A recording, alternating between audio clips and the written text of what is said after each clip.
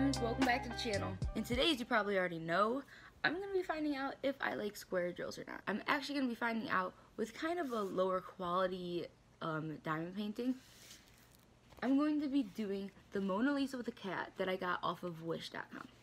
Maybe soon in the future I'll be able to compare, you know, Wish quality um, square drills to other sort of quality square drills, like better quality. Before we get into that, I cut my hair.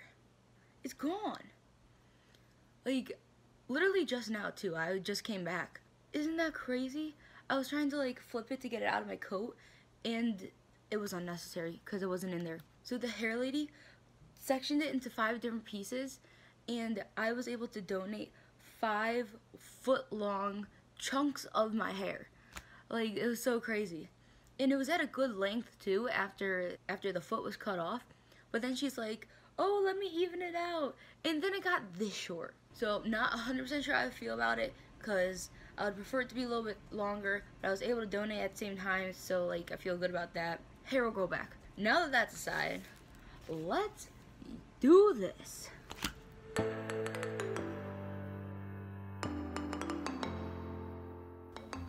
Look at the square drills. I'm, oh, I spilled another one. I'm so used to seeing circles. So weird, so weird. If you cringe easily, you might want to look away for this part.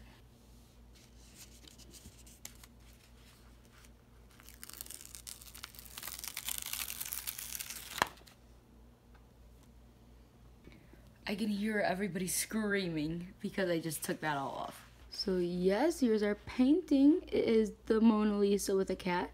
Um, it says 20 by 30 on the thing, but I think it's canvas to canvas. It looks like it's actually about two inches shorter on all sides, and it only comes with 18 colors. Again, this is from Wish if you are interested.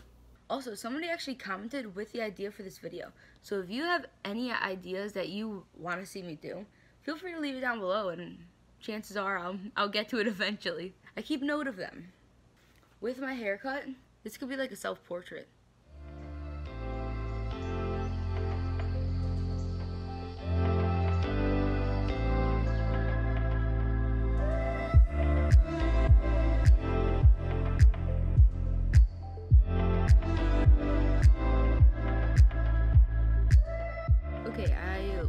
Did like five drills and I already have a few observations. This sticky part is so far out on the canvas, I can't feel like I can't get close enough to put down the drills in the right spot. And observation two, they are so much harder to put down. Look how crooked some of these are. This is so hard. This is a lot harder than just round drills. And observation three, some of these drills have more cuts than others. Let's see if I can find some. Look right here. See how this, I don't think they're just in different directions. This one has additional cuts around it than this one does. It's like a square shape. See, those two are both diamonds. Two squares and a diamond. Isn't that weird? So these have four more cuts, diamonds, than the squares, I think. Okay, I came up with a quick solution for the adhesive or poured glue edges. So I made a little frame around it with paper.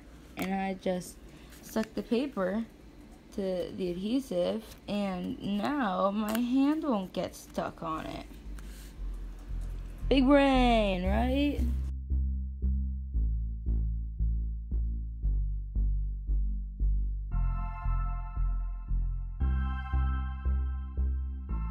It wouldn't be me diamond painting if I don't spill them everywhere multiple times. There's one down here. A mess already. Still the first color.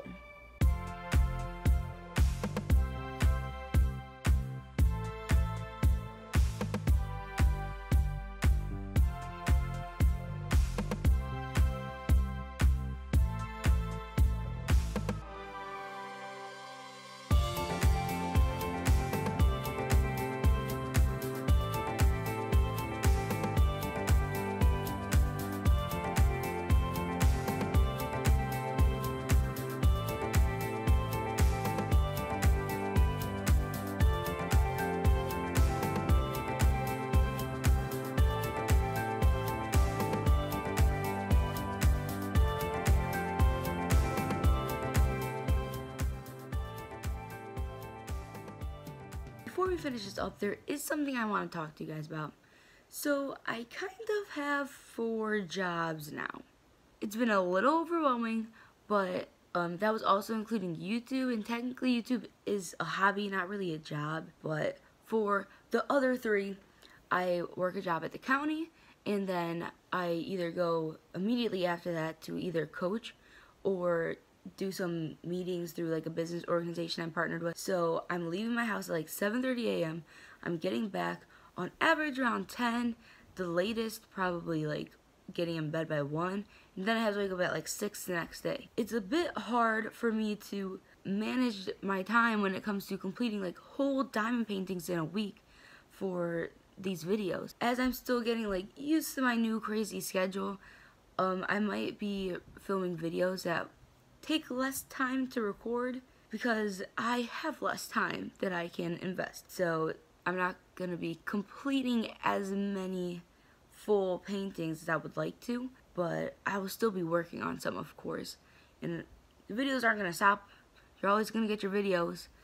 They just, maybe I'll throw in a little bit of some different content in there as well, more so lifestyle or other types of art along with the diamond painting video still. I love you. Thank you for, you know, being patient and understanding. Not too much will change. I'll just be filming videos that don't take a, a full week to record, you know? But let's just finish this now.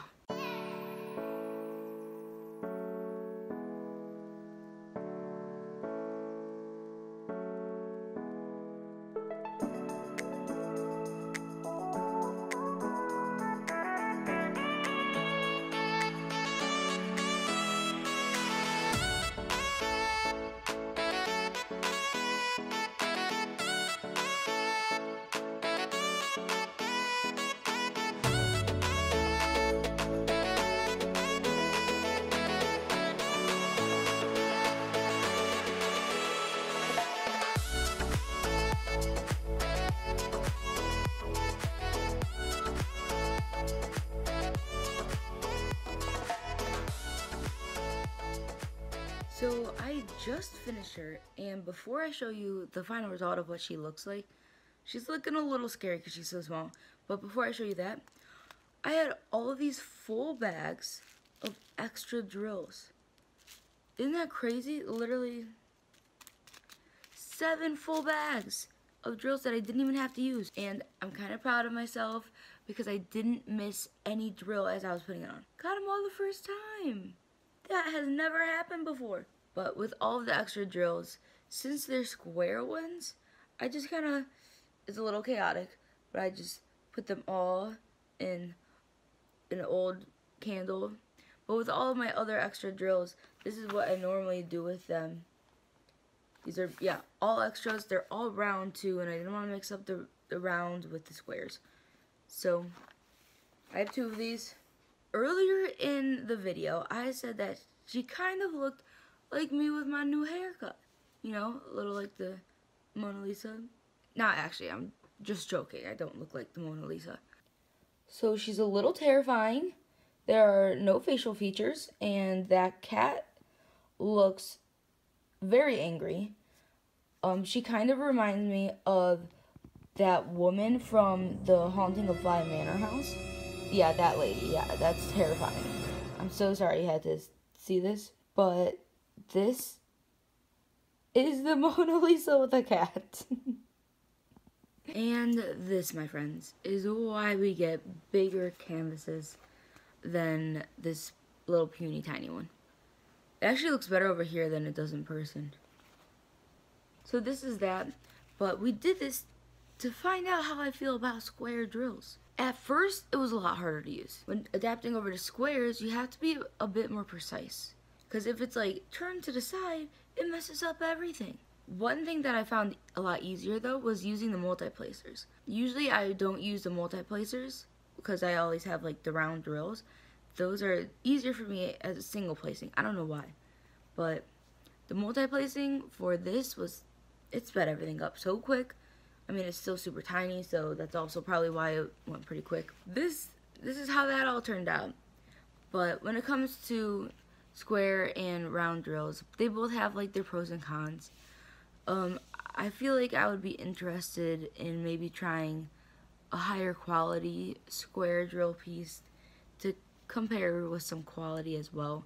Honestly, they're both pretty fun. If you're a little intimidated by stepping up to square drills, like personally, I thought they would be for more advanced people, and I personally don't feel like I'm extremely advanced myself.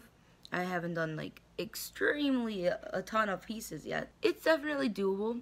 It's fun. I feel like it does bring the whole piece together a bit more. There's not as much space in between the drill placements. So I, I recommend trying it. It was it went pretty well, I think. But we actually have two shout outs for today because they actually left comments down below in my other videos and suggested that I should try out some square drills. So I went and I did it. But, so yeah, if you have a suggestion of what you want to see, make sure you leave that comment down below too. Maybe you'll get a shout out as well. But today's shout out is going to Alila and Kitty. Thank you guys so much for commenting. Thank you so much for watching. And for everybody else, make sure you're subscribed for a chance to be featured in next week's video. And I'll see you all next time.